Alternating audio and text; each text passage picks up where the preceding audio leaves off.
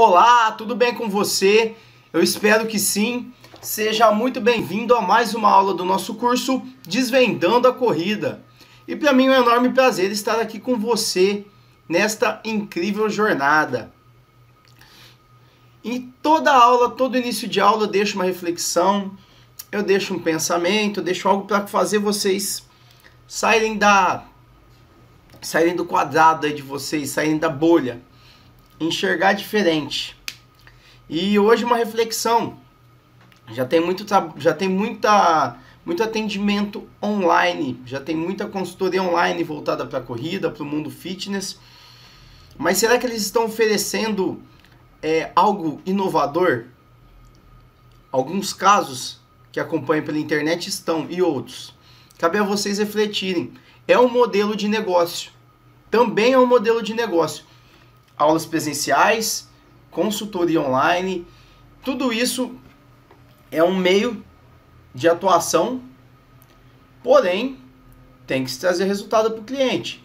E acima de tudo, tem que se ter mecanismos para quantificar esse cara à distância. Será que todas as consultorias estão funcionando como deveriam, estão realizando protocolos, sabem desenvolver isso? à distância. Então, uma coisa que cabe refletir aqui é que será que estamos sendo é, atuantes de maneira inovadora também no mundo online? Será que realmente estamos? Observem, reflitam e guarde com vocês essas apreciações. Pessoal, nós vamos dar continuidade ao assunto limiar anaeróbio. Esse que esse que é um assunto que é um parâmetro, na verdade, de extrema importância, um assunto importante a ser tratado dentro da, da dinâmica do assunto corrida. Ele é importantíssimo para o nosso curso, o entendimento dele. Nós já falamos dele na aula anterior, só dando um retoque aqui novamente. Ele é o momento a partir da qual começa a haver uma maior contribuição da via anaeróbia lática. Ou seja, a via da glicólise começa a trabalhar de maneira mais eficaz. Começa a se é, acumular mais lactato. E na aula de hoje vocês vão começar a entender como é feita, como são feitos esses protocolos, esses parâmetros para como são realizados esses parâmetros para para análise desse limiar, como foi descoberto esse limiar de lactato. Tá OK? Então nós vamos falar primeiro dos métodos invasivos. O que são os métodos invasivos?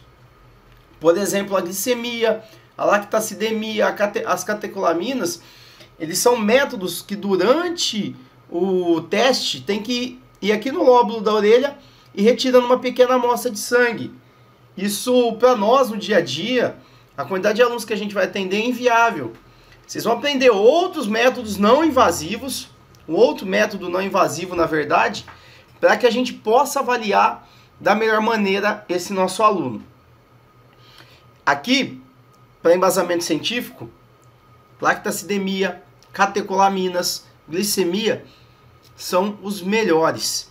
Eu vou começar falando da eletromiografia, tá ok? É, o que, que consegue se identificar com a eletromiografia num teste? Eles realizam um teste crescente, eles realizam um teste crescente máximo e a partir do momento que eles começam a notar por eletromiógrafo, que são eletrodos fixados na musculatura, no nosso corpo, a partir do momento que começa a haver uma ativação de fibras 2A e fibras 2B, está chegando no limiar anaeróbio. Por que disso? Lembra que as fibras do tipo 1, elas são fibras aeróbias, mitocondriais, Lembra disso? Então, é, elas têm grande quantidade de hemoglobina. Você já, a gente já comentou isso nas aulas passadas, nas primeiras aulas, na verdade, falando aí das, das fibras, do, de toda essa questão dos princípios do treinamento. E a partir do momento que começa a entrar nas fibras 2B, começa a entrar em qual via? Via da glicólise, que também tem relação com tudo isso com a via glicolítica. Entrou na via, começou a acessar a fibra 2B, está na via glicolítica. Então lembra já que eu falei nos princípios do treinamento que o tipo de atividade que você escolhe vai demandar o metabolismo? Tá aqui. Começou a haver a presença de lactato, começou a intensidade aumentar um pouquinho, você já não usa só fibra 2A. Fibra 2A, desculpa, fibra tipo 1, que é uma fibra de resistência. Você vai partir para 2A e 2B. Você já vai partir para essas fibras. Então a eletromiografia, ela também é utilizada em testes. Dá para se descobrir o limiar através dela. Desculpa aí, pessoal, tô com uma coceira no olho que começou aqui que não vou parar não, vamos tocar o barco. O outro ponto é a glicemia, que eu já havia comentado com vocês na aula. O limiar, o ponto mesmo, o limiar cravadinho ali, cravado, onde há inflexão do nível de glicemia, ele foi descoberto por um pesquisador aqui da nossa região, no intuito de analisar, ele queria só analisar lactato na tese de mestrado dele, eu não me recordo o nome do professor agora, é, eu sei que ele era aluno do professor Vilmar, e no intuito, no intuito de analisar lactato nos testes, ele deixou com o cara, isso antigamente, aí, coisa da década de 90, ainda não tinha WhatsApp, não tinha WhatsApp, não tinha essa tecnologia, deixou com o cara do laboratório, ele só fez a, as coletas e deixou com o cara para análise.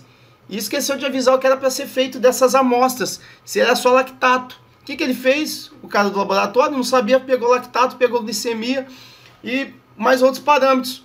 Aí, olha que o cara foi entregar resultado para ele, ele olhou aquilo. Ah, mas eu não pedi glicemia? Tô entendendo, não pedi glicemia, o que que tá apontando esse resultado aqui? Foi olhar o resultado. Descobriu que antes de entrar no limiar anaeróbio, ali dentro do limiar, na verdade, Olha que você começa a produzir lactato. Antes de começar essa produção, tem queda. Tem uma utilização fortíssima de glicose. Então você tinha um quadro de diminuição da glicemia, você tinha uma inflexão dessa curva. Então eu descobri por acaso. O intuito era analisar o lactato. E na queda, na queda dessa glicemia, na queda dessa, da, na, nesse estudo, por acaso, ele descobriu que glicemia também dava para localizar o anaeróbio onde a glicose começou a cair, já já ela ia subir de volta e ela ali o lactato. Tava comparado, tava idêntico com o lactato, onde o lactato começava a subir, também a glicemia começava a subir. E onde estava baixo, ainda não estava tendo, estava começando a existência ali do, do, de, do aparecimento de lactato, na verdade. Então esse é um dos parâmetros, através de amostras de sangue, tá bom? Dá para ser feito com aparelho de glicemia normal. Durante, durante o treinamento ou pós-treinamento, você pode ali colocar teu aluno para realizar uma atividade no limiar. E se você tiver equipamento que faz a medida da glicemia, que não custa caro, se você trabalhar com aluno diabético, compensa.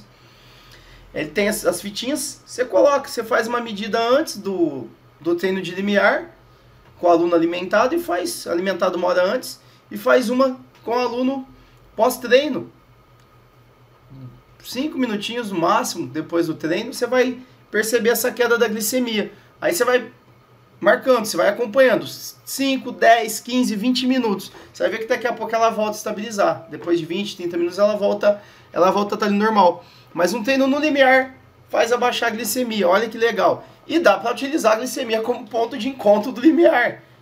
Show, top de linha. Mas precisa usar isso? Não, eu só estou te ensinando que é para você não ficar boiando a hora que lê algum artigo, a hora que vê alguma coisa e fala, nossa, glicemia, como assim glicemia lá, que limiar anaeróbio? Ué, mas como? Tá, o que, que esse artigo quer dizer? Então você já sabe, já estão atento. Também pelo sangue, o aparecimento de catecolaminas, dá pra gente analisar pelo aparecimento das catecolaminas, que é a adrenalina e a noradrenalina, tá certo? Começou a aparecer lactato, entra noradrenalina e adrenalina tá? Eles começam, eles são estimulados por todo esse funcionamento do organismo nesse momento e começa a aparecer. E quem é antagônico? E quem é antagônico a eles? A insulina. A insulina some. A insulina some nesse momento. Se você pegar o nível da insulina nesse momento também ela vai estar tá baixa. Então, a partir do momento que começa a entrar no limiar de lactato, começa a ver um treino mais intenso, tem aparecimento de adrenalina e noradrenalina, das catecolaminas. Então, é um outro meio de se analisar o limiar anaeróbio. E o mais interessante, o mais utilizado, a lactacidemia, que também é por estação de sangue no lóbulo do, da orelha aqui, tá bom? É, os aparelhos de lactacidemia custam em torno aí de 300 a 500 reais, tem mais caro, esses são os de manuais de coleta rápida, até o passarinho hoje quer participar da aula, gente. Mas vamos lá, vamos tocar o barco. Então, quais são os protocolos aí para avaliar o limiar anaeróbio?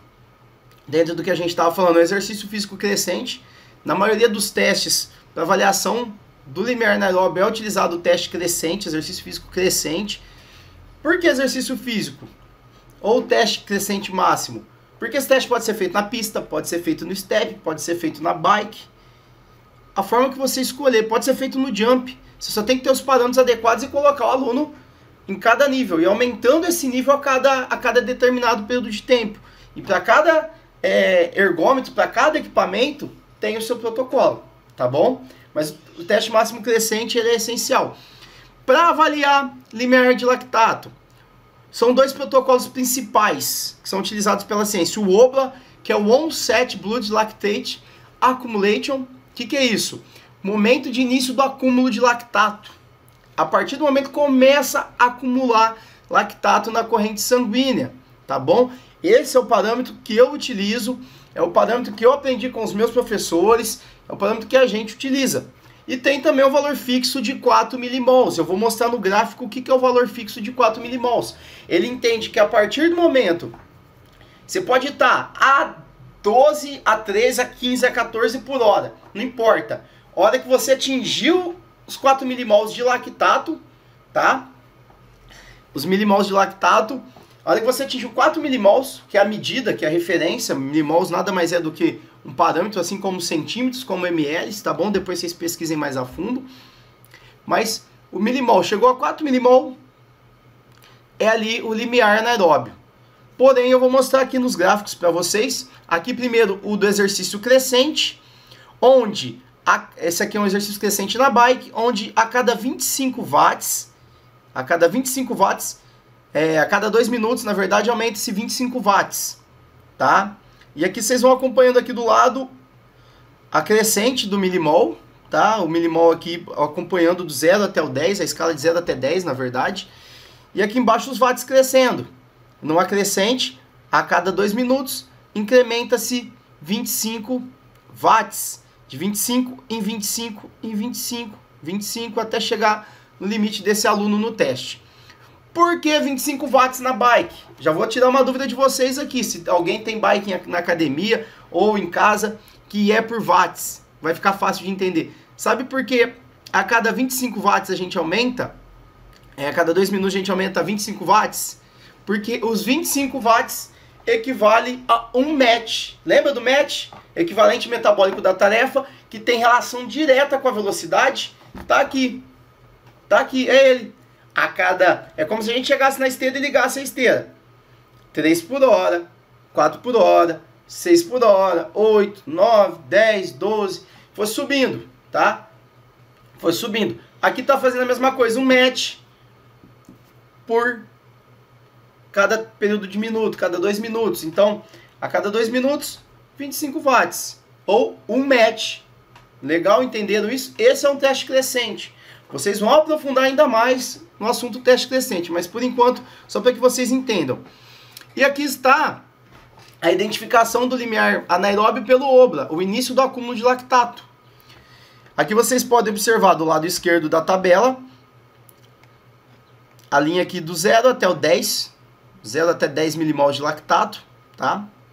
E os watts crescendo. A gente pode observar que dos 25 watts até os 100 watts não teve muita alteração. Não teve muita alteração no lactato. Já a partir dos 125 watts, ó, a, último, a última intensidade, a última intensidade considerada aí antes do acúmulo, antes de subir o, o milimol de lactato, 100, por, é, 100 watts por 100 watts por hora ali de velocidade, de intensidade. Então, aqui é um parâmetro para a gente observar. E lembra que eu falei que tem um outro protocolo que utiliza 4 milimols? Aí já vai dar diferença, olha nesse protocolo. A 100 watts, ele está em 4 milimols. ele vai considerar o limiar anaeróbio a partir daqui. Já neste outro parâmetro que é o OBLA, o limiar está sendo considerado aqui. E o ponto de acúmulo começando a 125 watts. Tá bom? Então, fica a critério do que você vai utilizar. Mas nós utilizamos o ponto a partir da qual começa a haver o acúmulo. Onde começou a haver o acúmulo? A partir 125. Então, onde está o limiar? Entre 100 e 125 watts. Tá bom? Esse é o nosso, esse é o nosso parâmetro. Esse é o nosso parâmetro. Tá ok? Então, são esses dois utilizados para a mensuração do limiar anaeróbio. Tá ok? Dentro do parâmetro lactacidemia. Agora nós vamos falar dos métodos não invasivos, dos parâmetros respiratórios, os conscientes respiratórios que eles são utilizados com a máscara de gás, o aumento do consumo, tá? Toda essa quebra, esse aqui a gente não vai aprofundar, isso aqui só com equipamento, tá bom? A gente não precisa entender. E a gente vai falar da quebra do drive respiratório. O que é a quebra do drive respiratório? É um método muito fácil. É um método muito fácil. Vocês vão aprender a aplicar. Mas na, na, na, atividade do dia a dia já vai dar para entender quando seu aluno entrou no limiar. Você põe seu aluno lá para fazer uma atividade. Vamos supor que você está correndo junto com seu aluno. Você está um trote 7 por hora. Está conversando com você numa boa, numa boa tal. Começou, acelerou para 8. Olha que vocês estão numa velocidade de aproximadamente 8 por hora, seu aluno já começa a hiperventilar. Falar, demorar um pouquinho mais para falar, para soltar a palavra, para conectar a conversa como um todo ali. Então, nesse momento, houve quebra do padrão respiratório. Por quê? Porque está sendo, é, tá sendo utilizado mais oxigênio para manter todo o funcionamento do corpo, para mandar oxigênio para onde precisa. Então, essa quebra, esse ponto de disruptura, é ali. É ali que o corpo está tentando se encaixar, se entender, é ali que está o limiar anaeróbio. Então, lembra que eu falei, limiar anaeróbio, quanto mais perto do da anaerobiose menos oxigênio. Então, nesse momento, já começa a faltar. O corpo já não está dando mais conta de suprir aquela demanda de tamponar os íons de hidrogênio com esse oxigênio que tem, está indo para outro lugar. Isso aqui é um parâmetro de limiar. E tem parâmetros mais fortes, que vocês vão entender mais à frente. Mas para entender limiar, a queda, já começou a haver uma falha. Ah, estou conversando aqui, mas não, não consigo mais manter aquele mesmo nível. E através de testes, dá para conhecer, dá para perceber. Essa quebra é um parâmetro importantíssimo para a gente encontrar o limiar anaeróbio. Através do teste crescente, vocês vão perceber olha que há essa quebra. Na escala de Borg, que eu vou ensinar também o que é, ela vai estar numa escala de um pouco pesado. Um pouco pesado, seria essa escala do limiar anaeróbio. Vocês vão entender disso mais pra frente, tá bom? Qual é o tempo de permanência do seu aluno no limiar anaeróbio? Depende. Aqui nós temos três classificações. O sedentário, ele tem um tempo de permanência no limiar anaeróbio de 30 a 45 minutos. Já o indivíduo moderadamente treinado, ele vai permanecer no limiar de 45 a 60 minutos. E o altamente treinado até 120 atletas de ponta vai passar um pouquinho disso. Mas nós estamos falando, falando aqui de seres humanos normais, tá bom? Seres humanos normais, em torno de 120. O cara bem treinado, que tá... Agora aqui eu vou colocar para vocês. Sedentário. Quem é o sedentário? Pessoa com VO2 com nível regular. Lembra lá do parâmetro que a gente da tabela da classificação? Parâmetro regular. Quem é o moderadamente treinado? De 20 a 40%, que está no nível bom para ótimo. Esse é o indivíduo que está é, no moderadamente treinado. E o altamente treinado, acima de 50%. Então tá aqui, ó. Aí seu aluno sedentário chega, seu aluno que começou a treinar faz dois meses, tá com VO2 baixo ainda, por exemplo, uma mulher, subiu, tá dois meses com você, subiu lá um metro e meio. E ela quer, tava com limiar de 6, agora tá com limiar de 7 por hora e ela quer participar de uma prova de 10 quilômetros. Como é que ela vai fazer essa prova? Fala pra mim. Caminhando, por quê? Ela ainda está aqui, ela ainda não chegou no moderado. Ela está nessa transição. Ela não vai conseguir suportar, não vai conseguir ter, dentro desse limiar, ela não vai conseguir ter uma capacidade. Ela vai fazer caminhando. Por quê? Qual que é o tempo de permanência de um sedentário? Uma pessoa que está ali dentro do, do sedentarismo. 30 a 45 minutos. Quanto dura uma prova de 10 km para quem está caminhando? Mais de 50. Mais de 50. Então ela já não vai conseguir. Tá aqui sua atuação. Você vai falar, não. Se você quiser fazer uma prova de caminhada, faça uma prova de um, período, de uma distância menor, na verdade, de uma duração menor, 5 km. Tem provas aí que tem 3 km de caminhada, vá caminhar, vá conhecer a prova. Não tem condição. Não tem condição. E tá aqui, com base nesse parâmetro, você vai olhar e vai falar, pô, peraí. Ó, agora meu aluno está moderadamente treinado. Para uma mulher que está com 12 metros, que ela já está moderadamente treinado, o limiar dela que era em 6, agora vai estar tá em 8, 9. Agora, por exemplo, para uma provinha de 5 km, ela vai acabar em 31, 32, 33, dentro desse dessa quilometragem. Já estamos começando a ficar, já está começando a ficar séria a coisa. E olha que ela tiver nos 40%, que ela subiu 40% o condicionamento dela, aí é outra história. Aí ela vai até cogitar pódio, dependendo, principalmente em provas de cidade do interior, dá para cogitar pódio. Com um limiar aí de 10, de 10 metros, dá para cogitar pódio. 10, 11 metros. É o que? Todas essas provas, a maioria delas são no limiar. São no limiar. 5, 10 quilômetros. Só que são trabalhos diferentes. São intensidades diferentes. Vocês vão entender isso. A gente vai falar disso também. Das resistências de longa, média, curta duração. Vocês vão estar aptos a prescrever treino através disso.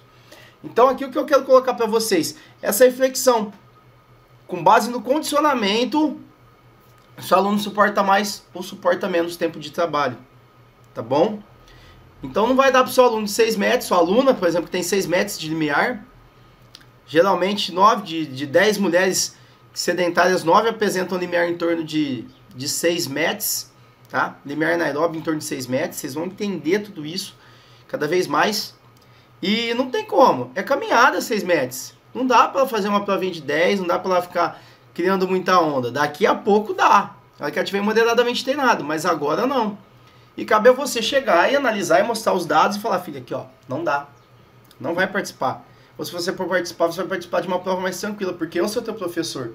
Eu prescrevo o seu treino. Ah, mas eu acho, não. Vem cá, é assim que funciona. Você não vai resistir mais que isso.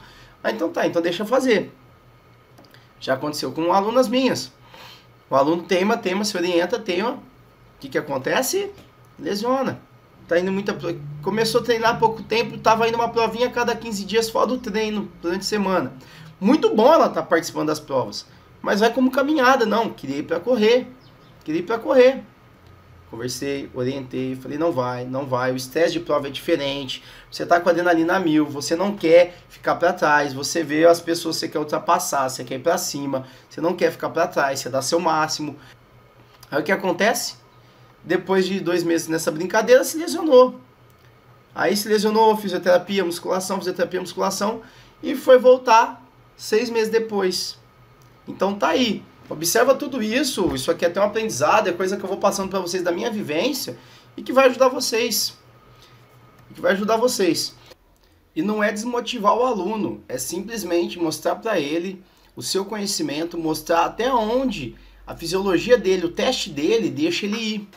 Se esse aluno está apto para correr, você não vai segurar. Você vai preparar da maneira correta, você vai liberar para a intensidade adequada de prova que ele consegue participar. O cara já aguenta uma maratona, tem resistência, tem suporte muscular para isso, tem suporte psicológico para isso. Então, se ele tem todo esse suporte, você vai estimular. A nosso intuito é estimular o exercício físico, mas da maneira adequada, de maneira saudável. Não é chegar a pegar qualquer aluno que tem 5 de limiar, 5 metros de limiar, 6 metros de limiar e socar para a prova para dizer que está colocando aluno na corrida. Isso já não serve de parâmetro, isso, isso entristece nossa profissão. E pessoal, por essa aula é isso, eu espero que tenha ficado claro, tá bom? O limiar é um parâmetro importante, a gente vai utilizar ele para trabalhar, para falar de VO2, para falar de, de capacidade de trabalho também. Assim como o VO2 é a capacidade, ele é a capacidade submáxima. E vai ser importante para a prescrição de treino daqui para frente. Eu vou ficando por aqui, um forte abraço e até mais.